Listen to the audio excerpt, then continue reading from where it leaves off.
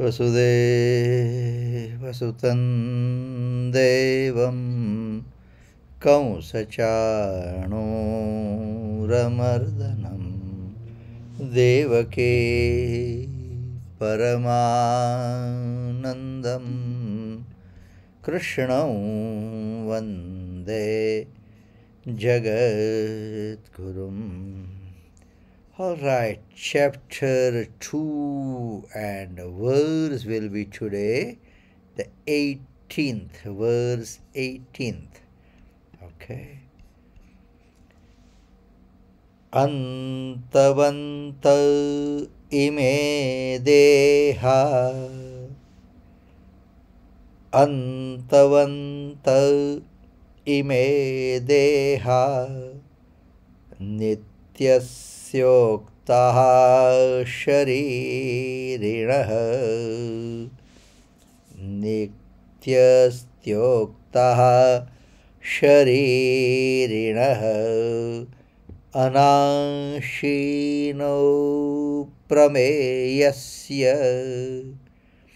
अनाशीनो प्रमेयस्य तस्माद्युद्धस्व Bharat तस्माद्युध्यस्व Bharat These bodies acquired by the imperishable, indefinable, and eternal soul are spoken of as perishable. Therefore, O Arjun, fight anashinaha. As we are discussing about, okay, Bhagwan wants to again you, you can say it, it's it's it's like an hammering, okay. This body is perishable, whereas the Atma, the self, the soul is imperishable. Okay. Anashina, a thing which never changes, which never changes, there is no decays, and never gets extinct in the list by any cause, under any circumstances, is called Anashihi. And what is that?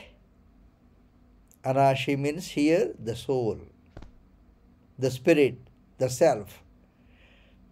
The Atma is not exposed to destruction or change. So, it is indestructible or imperishable. As we are keep on discussing, because this is the subject we need to focus. We need to try to understand that. Okay. Now, after the anashi, it says aprameyasya. Aprameyasya, the soul is beyond the domain of senses or speech or mind. So,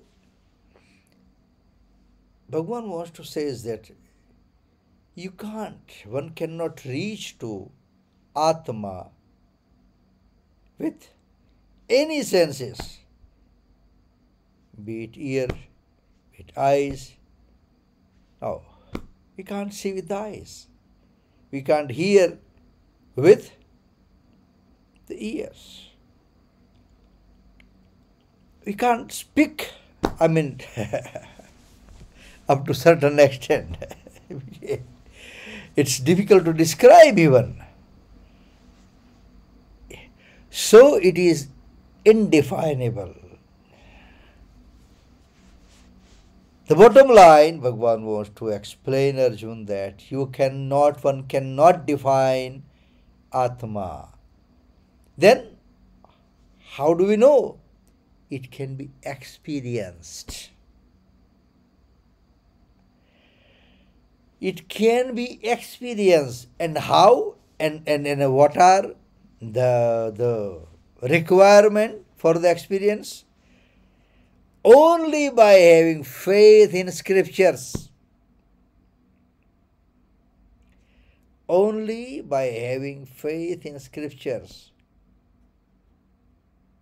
and saints and their gospels, the scriptures, or even whatever they have experienced, they describe the saints, the guru, the master,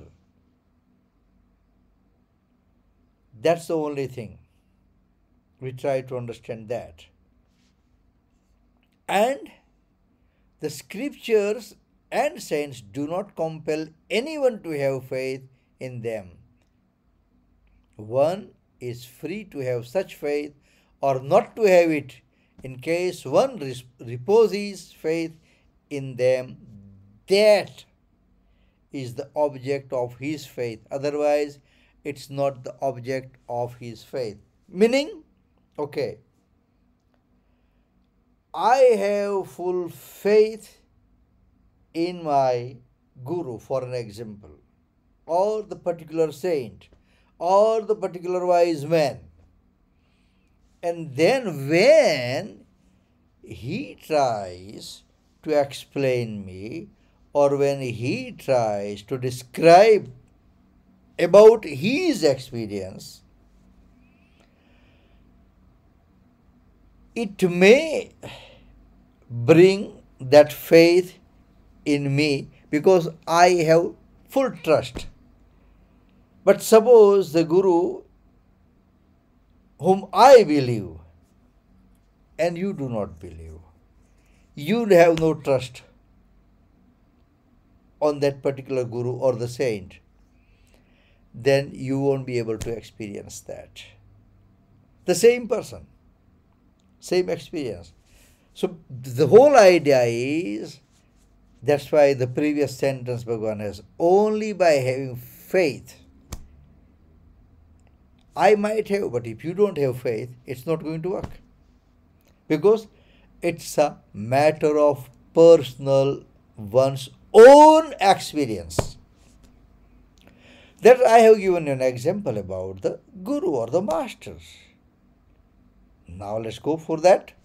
The scripture. I have full faith in Bhagavad Gita. So I might get that experience times to come. But if you don't have faith on the Bhagavad Gita, you may not. Or some particular topic and the lecture on it. Lecture is not a nice word. The correct word in Sanskrit is pravachan. Okay. Loosely translated in English is discourse. Okay. So, on that particular subject or the topic in that pravachan, if I have faith, I will experience. But if you don't have, you may not. So, not only having faith, but you, it, it, it's the, the, the, the main thing, you can't just generalize that I have experienced that you're going to experience. No, it's all own personal, personal matter. And that's why it has named as or tagged as aprameyasya. It's beyond that. Nityasya. Again, Nitya says eternal, all the time.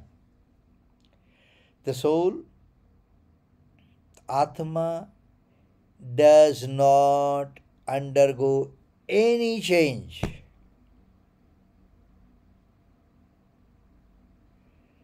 It never ceases to be. It exists all the time, permanent. That's why, I mean, in thousands of name of Bhagwan Vishnu, it has been described. Anadi, beginningless, Ananta, endless, and soul. Atma is part of Paramatma. The all qualities what Paramatma have, got the Atma got the qualities. So, Atma is eternal without any change for years together. ಅಂತವಂತ ಇಮೇ ದೇಹ ನಿತ್ಯಸ್ಯೋಕ್ತ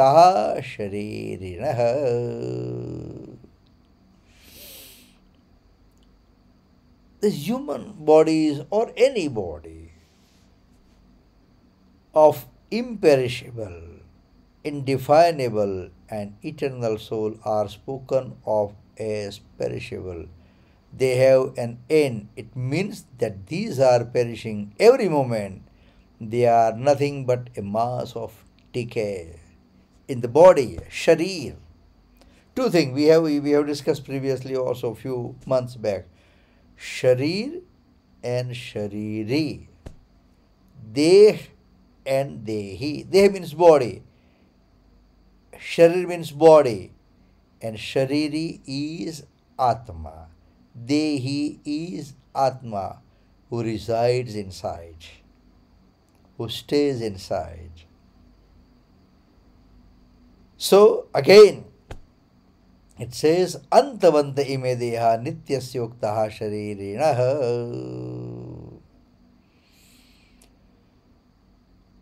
the bodies the sharir the deha are perishable. And the Dehi or the Shariri or the Atma will remain the same. Here, those, I mean, it's, it's but uh, uh, grammatical discussion here. Antavanti ime deha nityasyokta sharirinaha in above sentence what when I say above sentence is antavanta imedeha nityasyukta sharirinaha. Okay. A singular number has been used for the soul, while plural for the bodies. Because Atma will be one.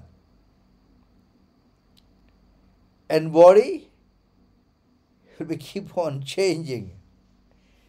And that's why there is a very good uh, saying in Sanskrit. माता, पिता, सहस्राणी पुत्रदारा शतानी च। My father and my mother okay but that's in in this life in the previous life or the next life they will change माता पिता सहस्राणी सहस्र means thousand the parent in this journey okay, there will be thousands of Mata and Pita. Putradara Shatanisha, the children. And for, for, for, for men, the wife. And woman, the husband. It's going to change. Shatani, hundreds. It's going to keep on changing. And in that context, as I told you, the grammar is used yes, in the above sentence, a singular number has been used for the soul. Anta vanta ime deha nityasyokta sharirinaha. While plural for the bodies. Because bodies of embodied soul are of three kinds. Now, keep on changing the bodies. That is one. And we always have three bodies physical, subtle, and causal. Three bodies, but soul will be the same. So, Mata Pita Sahasrani Putradara Shatani Cha. Well, again, Bhagwan emphasized on the one thing that, O Arjun, you must not grieve because the body are going to perish. Where the element, not element, the spirit, the, the self, which is inside the body, is imperishable. So, you need not worry, you need not grieve. All the body which are perceptible are perishable. Means whatever we see, it's, it's going to go. If not today, tomorrow. 10 year, 20 year, 30 year. While the soul is imperishable and eternal. You know, Bhagwan wants to give a clear message to Arjun by giving different example or by saying him repeatedly and then then it will store here for an example i am sure you all must have gone to Gujarati school. Hmm? The tables in Gujarati, what we say, palakha. પાંચ પચામ પચીસ પાંચ પચામ પચીસ છ છંગ છત્રીસ સાધુ સત્ય ગણપચાસ then stored here. then you will never forget. but if it is one day, once a year, it's not going to help. So that Bhagwan is telling with a different argument and keep on saying, keep on repeating the same. Okay. So while the soul is imperishable and eternal, but this immortal soul, through sorry, the immortal soul, though different from body, identifies itself with the body and develops. What it develops? An ego or I-ness and the minus. My body, my house, my car, everything. Going to leave. And I, I, I, I have shared so many times with you in our Gita class that जन्म मृत्यु जरा व्याधि दुख दोष दुखानुदर्शनम जन्म birth मृत्यु death जरा old age जन्म मृत्यु व्याधि डिसीज जन्म मृत्यु जरा व्याधि दुख दोषानुदर्शनम we, we, we, we, we, we, we, we must darshan we, we, we must face that. It, it's going to come. And then there, there, is, there is no escape. If it, if it I have to translate it in Gujarati, Janma, Mrityu, Garpan, દુઃખ રોગ આનું દર્શન રોજ કરવાનું રોજ કરવાનું means એ ખ્યાલ જ હોવું જોઈએ વી we must be aware about that it's going to come it's going to come right? And there, there is no escape. There is a very good uh, story in uh, Mahabharata, if I am not mistaken, that uh, Yudhishthir is a king, the eldest brother among the Pandav. And uh, in their assembly assembly room outside of the assembly room they have a big the bell. Okay big bell. The bell okay. And there was an you can say unwritten law or it was a norm that something unusual happens that time only you ring that bell. So what happened one fine evening. Yudhishthir, the king, he just finished his uh, that particular day's routine and he just about to leave that assembly room where he normally meets all the citizens and listen to them sort their problem out or whatever it is so he was about to leave. And one citizen came and he was just started to say something and uh, Yudhishthir interrupted him. Okay, okay, wait, wait, wait. Today time is over come tomorrow. Okay. The Bhim, the younger brother of Yudhishthir, was there and he heard that his elder brother Yudhishthir told that citizen, Come tomorrow, we'll talk tomorrow. okay. So the women immediately rushed out and started ringing the bell. so, all those who were there, surprised. And even Yudhishthir, the king, ask him, Bhim, what happened?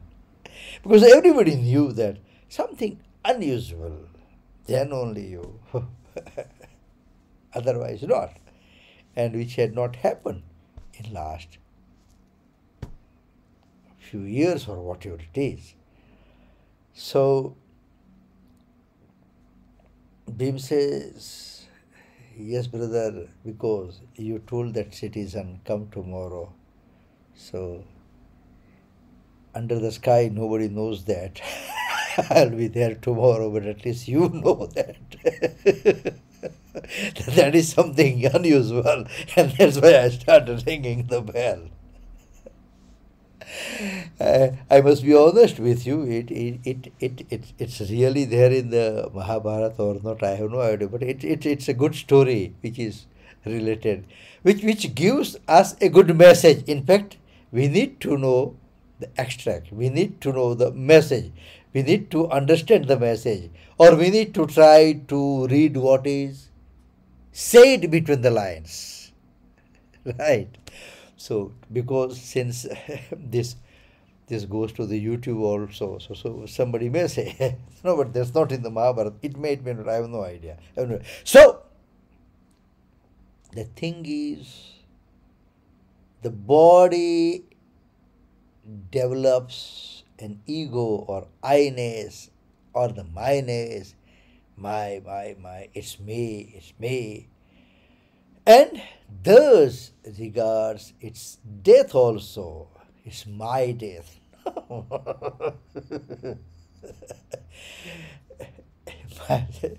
because death also means self's, soul's death. No. he who identifies himself with wealth, then he says, I'm a wealthy person. He who identifies himself learned, I'm a learned man, call himself wealthy or the learned person. Okay. Similarly, accepts a body as one's own. One develops the feeling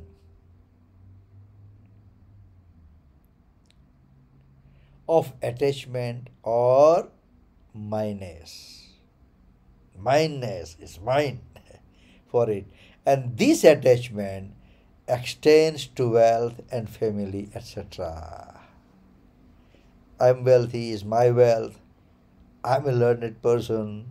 I've got that big property. Or I've got this so small kingdom of mine. whatever. Okay. So